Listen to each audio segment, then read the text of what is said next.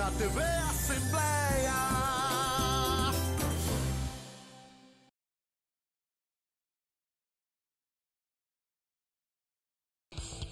Tramita na Assembleia projeto que institui 2018 como ano de valorização e defesa dos direitos humanos. Projeto de lei cria um conselho escolar de prevenção e uso ao uso de drogas em todas as escolas do Ceará. Deputado propõe instituir o Dia Estadual da Paz e da Conciliação. Fortaleza ganha um novo espaço voltado para o desenvolvimento de novos negócios, o Criar-se. O primeiro expediente desta segunda-feira, dia 26 de março de 2018, começa agora.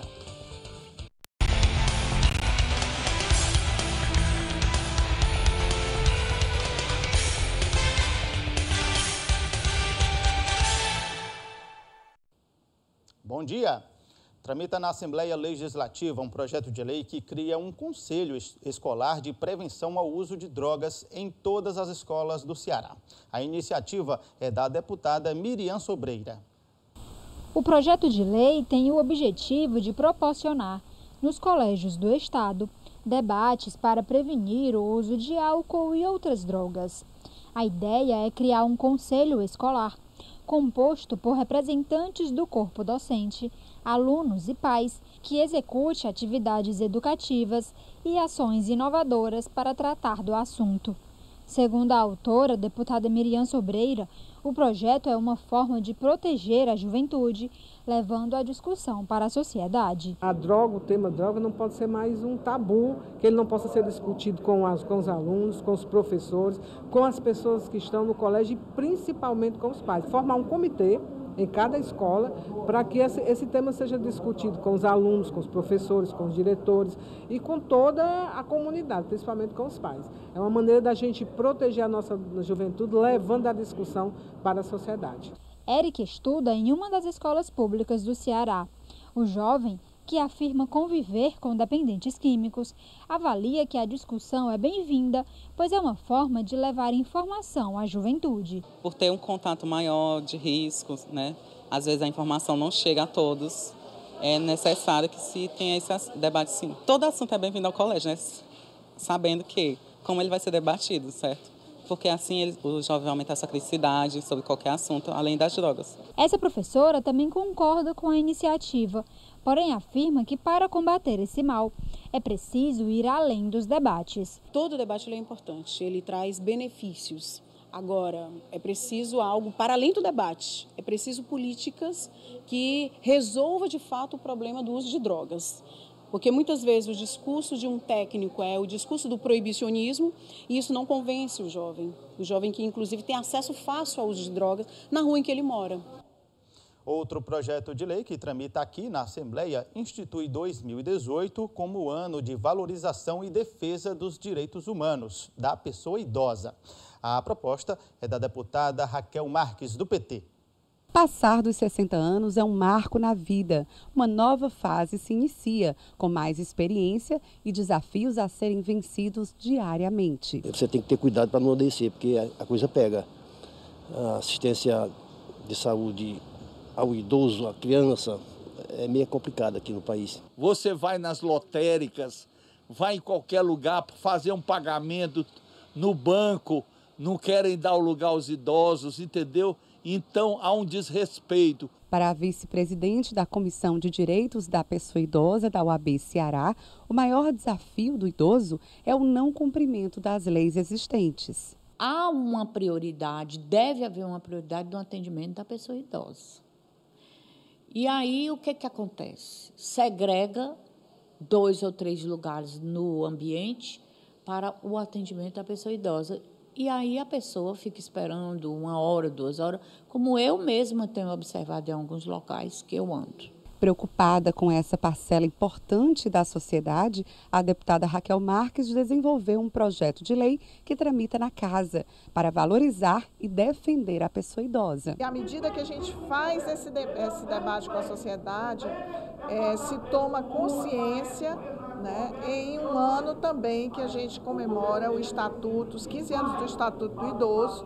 Né, a gente quer trazer, é, renovar esse debate com toda a sociedade, mobilizando todo ano acerca dos direitos da pessoa idosa e, com isso, incluir na sociedade, terem, assim, os seus direitos respeitados. A presidente do Conselho Estadual dos Direitos dos Idosos falou sobre as ações desenvolvidas para combater, principalmente, a violência doméstica e patrimonial sofrida pelos idosos. Nós estamos fazendo uma grande corrente hoje, a grande luta nossa esse ano é para que a gente possa fortalecer tanto os conselhos municipais da pessoa idosa para a defesa desses direitos e como também a gente é, conseguir recurso para estar melhorando as políticas, as ações voltadas para a pessoa idosa.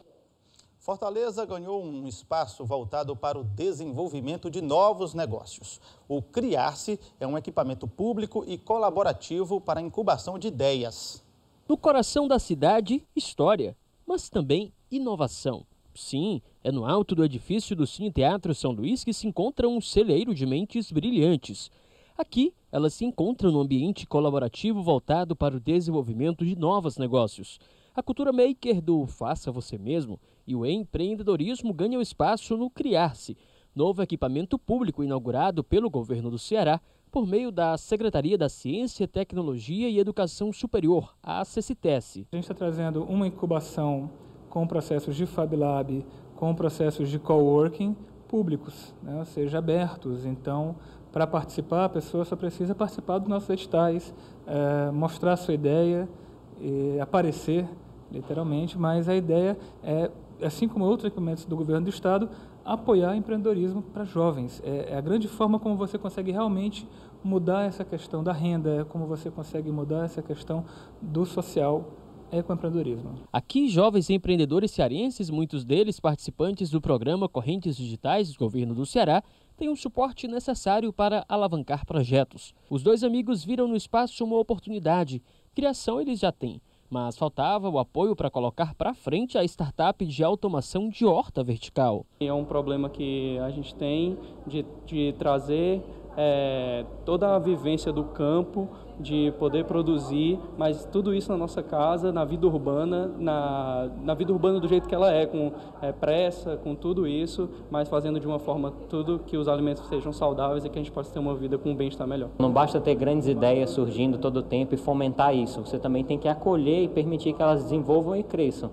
E você tem um espaço como esse, acolhendo a gente, permitindo desenvolver isso, está sendo muito importante e está caindo como uma luva para a gente nesse momento. O Criar-se conta com o Cowork, sabe o que é, né? Aquele modelo em que o ambiente de trabalho é compartilhado. Pois é, aqui vai comportar 12 empresas que ficarão de seis meses a um ano. E tem mais sala de reuniões, de capacitação, espaço de convivência e ainda o laboratório de fabricação digital, o Fab Lab. Às vezes o jovem tem um bom projeto, mas na hora de executá-lo, de fazer um protótipo, não transforma num produto ou serviço atraente aos olhos do mercado. Quer saber um exemplo de como o laboratório está sendo bem aproveitado? Uma das meninas do startup, que é do interior, eles construíram uma bengala para cegos, que é absolutamente genial, uma bengala que usa é, é, infravermelho e, e, e ultrassom, não toca no chão, mas eles construíram com cano, construíram com placas grandes, ou seja, não entra no mercado um produto desse, mas a ideia é genial. O que a gente quer pegar é esse produto, essa ideia genial e transformar isso num produto vendável. Sem falar que é um espaço moderno, alegre, não deixa a desejar de coworkings privados. O outro Matheus e a Luana adoraram. Eles também têm uma empresa de pequeno porte. Na startup misturam educação e games. Como ainda estão no início da carreira, não acharam ruim ter um espaço para criar e até atender os clientes. O apoio daqui é uma coisa interessante, porque às vezes você precisa falar com alguém, um mentor, você, a gente sabe que tem alguém que a gente pode ligar e dizer, consegue para a gente um mentor para dar uma dica nessa decisão que a gente tem que tomar agora. Isso aí faz toda a diferença num momento difícil da startup, principalmente. Se a gente fosse fazer uma coisa semelhante, a gente tem que marcar, alugar um espaço para a gente ter custos já ter custos a mais é muito impactante. Então, quanto menos custo a gente tiver agora nessa parte inicial, para a gente é mais vantajoso. Então, por isso, é, eu vejo essa, esse espaço mais como facilidade de, de, fechar negócios. Porque esse espaço é lindo. Quando as pessoas vêm aqui, elas amam o espaço. Nossa, que lugar legal que vocês estão trabalhando. Os governos da Espanha e de Portugal irão homenagear o Fortaleza Esporte Clube, que neste ano completa 100 anos de existência. O clube foi convidado a receber homenagens nos dois países no mês de maio. A repórter Camila Carvalho está ao vivo com o historiador que vai acompanhar a comitiva. Bom dia, Camila. Bom dia, Tiago. A campanha do centenário do time Fortaleza foi inspirada na origem histórica da capital cearense. Nós vamos conversar mais sobre esse assunto com o historiador Adalto Leitão Júnior. Então, essa é a blusa que marca o centenário do time Fortaleza. Explica pra gente o que, que representa cada símbolo. Bom dia. Bom dia. Bom, o símbolo mais é, significativo do centenário é a Cruz Espada de Santiago ao centro, no peito aqui da camisa. Naturalmente tem o escudo e o leão 2018, que é o ano do centenário. Mas a Cruz Espada de Santiago, ela remete ao nosso primeiro forte, o Fortinho de Santiago, e que dá origem à nossa cidade, quer dizer, o Marco Zero de Fortaleza. E esse símbolo foi elogiado por toda a imprensa brasileira, pelo design da camisa inovador, e agora está fazendo sucesso também em Portugal e na Espanha, né? Como será a homenagem no exterior? Bom, o Fortaleza receberá honrarias e participará de celebrações na Espanha e Portugal. Nós teremos uma visita em Madrid, visitaremos o Palácio de la Moncloa, é, o governo espanhol reconhecendo o centenário de Fortaleza, mas principalmente porque resgata a origem da nossa capital, o Fortinho de Santiago. Também receberemos homenagem em Santiago de Compostela, Participaremos até de uma celebração especial, a del Clavirro, que é a Cruz Espada de Santiago, no dia 23 de maio. Retornando, passamos por Lisboa, onde haverá uma celebração, um jantar especial comemorativo ao centenário do Fortaleza. E também na, na cidade de Santiago do Cacém, que é, faz uma ligação com Santiago de Compostela e o nosso Santiago aqui é, do Marco Zero. Lembrando que Santiago do Cacém é a terra de Martins Soares Moreno, quer dizer, o nosso grande herói histórico da cidade e também na literatura de José de Alencar. Então, em Portugal foi escolhida a cidade de Santiago do Cacém. Mas tudo isso por quê? Porque eles tiveram conhecimento, os portugueses e espanhóis, que um clube, ao completar 100 anos, ele volta às origens da cidade, nada mais é, lógico que Fortaleza é o nome da capital. E o Fortaleza Esporte Clube ele foi na raiz, na origem, no marco zero da cidade. Vindo nesse resgate, o ícone é a Cruz Espada de Santiago. Então, repetindo, teremos celebrações em Santiago de Compostela e Santiago do Cacém, em Portugal. O que, que representa esse reconhecimento?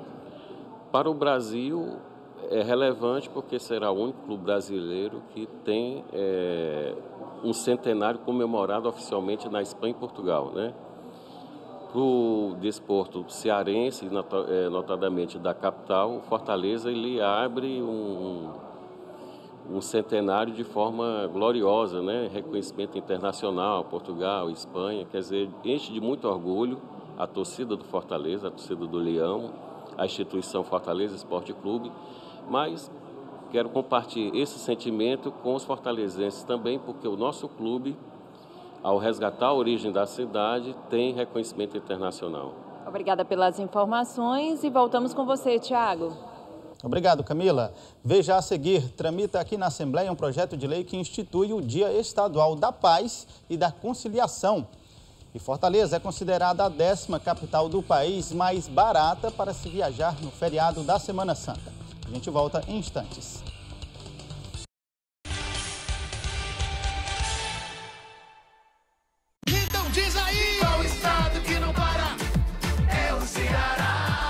Governo do Ceará não para de trabalhar e inovar para melhorar a educação. Nos últimos anos, ampliou o número de escolas de ensino médio em tempo integral. São 228 unidades implantadas, com ensino profissional e ensino médio regular, beneficiando 76 mil estudantes. Agora que eu faço atividade o dia todo, eu tenho uma perspectiva para um futuro melhor. Além disso, mais de 37 escolas públicas estaduais foram inauguradas e outras 80 estão em construção. E tem mais: o Prêmio Aprender para Valer premiou 57 mil estudantes com notebooks. Com o programa Avance, o estudante que vem da rede pública recebe uma bolsa no início da faculdade. Com o Avance, a gente pode cursar a faculdade despreocupado, porque a gente foca só nos nossos estudos e nada mais. E qual é o estado que inova? É o Ceará. Novas conquistas na educação fazem o Estado avançar e a gente sentir cada vez mais orgulho de ser do Ceará. Governo do Ceará. Novas ideias, novas conquistas.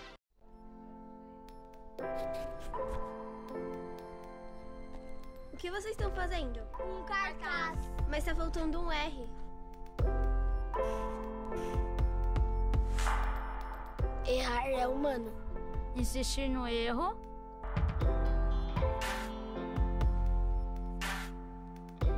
Persistir no erro pode ser falta de oportunidade.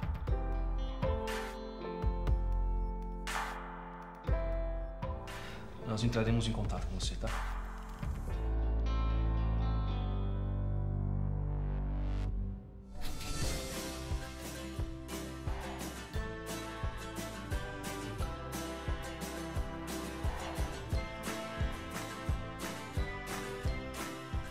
Apoie um futuro nota 10. A LBV conta com a sua ajuda.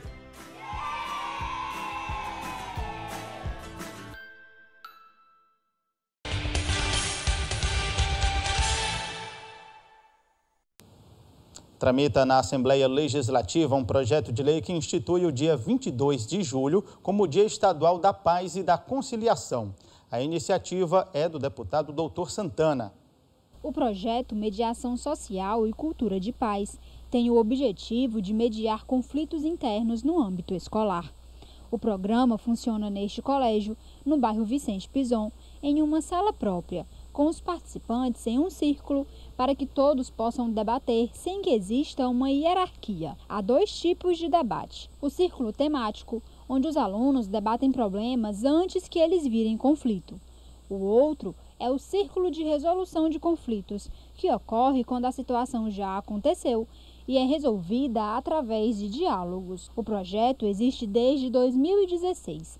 Segundo a diretora do colégio, a iniciativa diminuiu os conflitos em cerca de 80%, além de ter zerado a evasão escolar por indisciplina. A gente tem aquela percepção de que vou resolver meu problema transferindo o menino para outra sede. Né? Só que, na verdade, o problema continua existindo. Então, com a prática restaurativa dentro da escola, a gente começou a perceber que esse conflito ele pode ser resolvido aqui. Riquelme é aluno da escola e um dos mediadores do projeto. Ele explica a importância dos próprios estudantes participarem do programa. Eu percebo que nós, alunos, estudantes, a gente se sente mais confortável em conversar com outro aluno, um mediador que seja um aluno, porque eles fazem parte do nosso cotidiano. Além dessa escola, há mais três em Fortaleza que têm uma sala de mediação estruturada.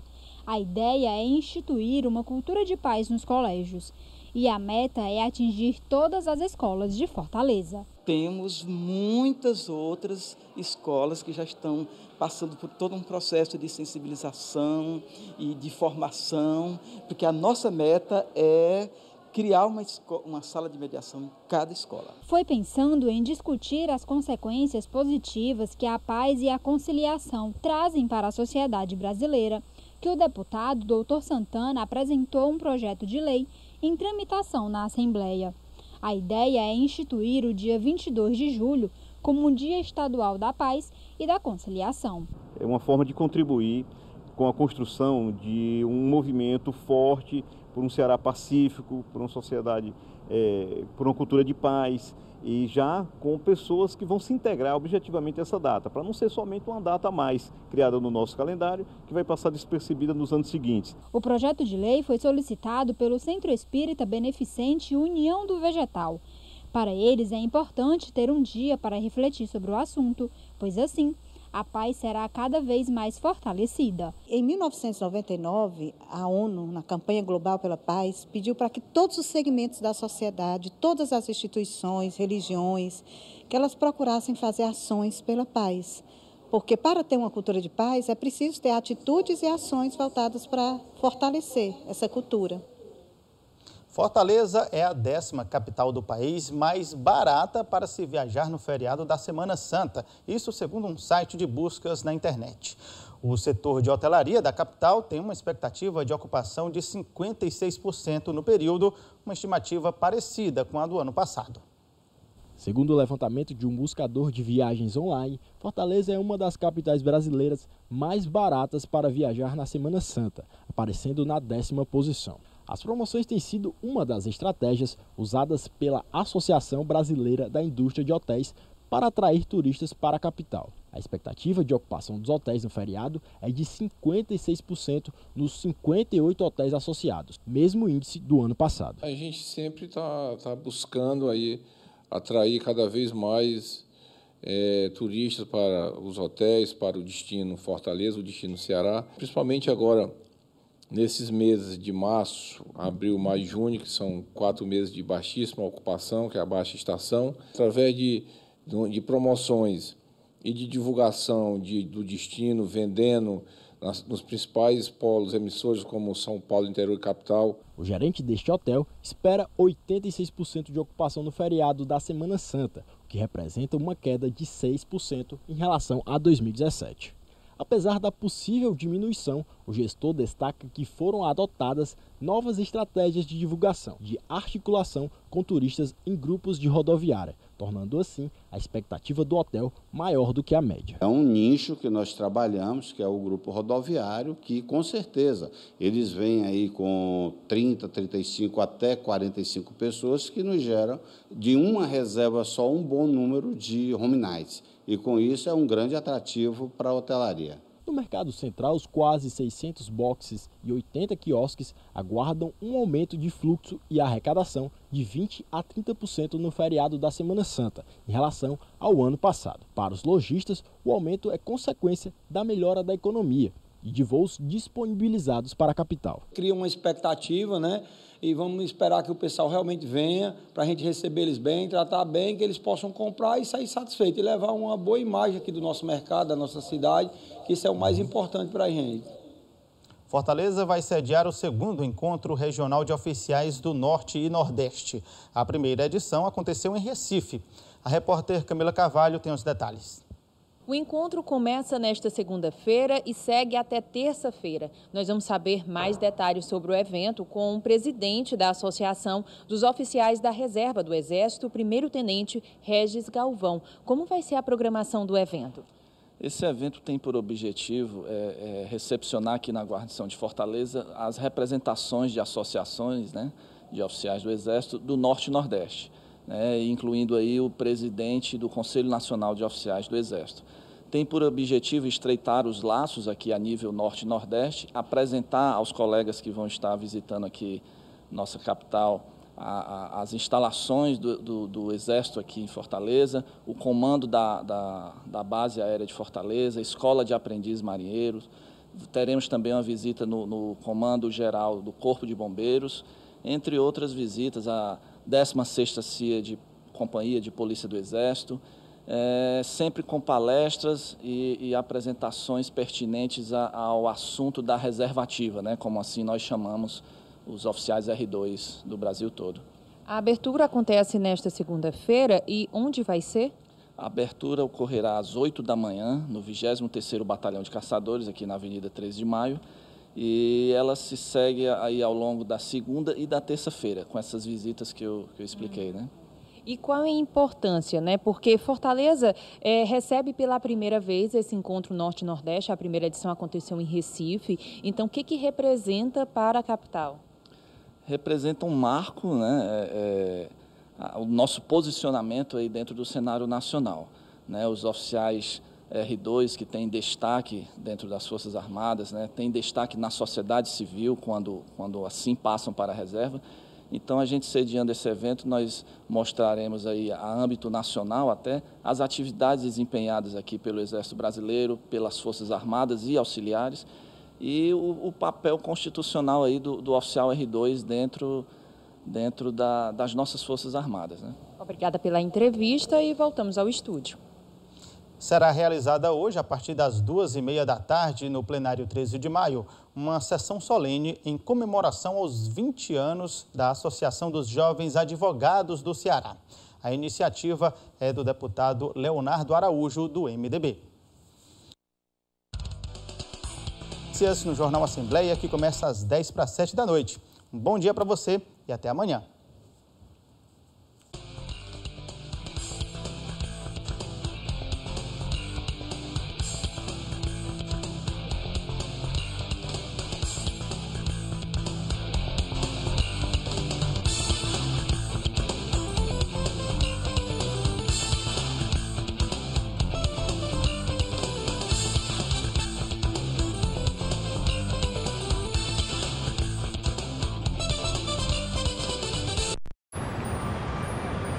Fiquei sabendo que tinha tuberculose, imaginei, é o fim.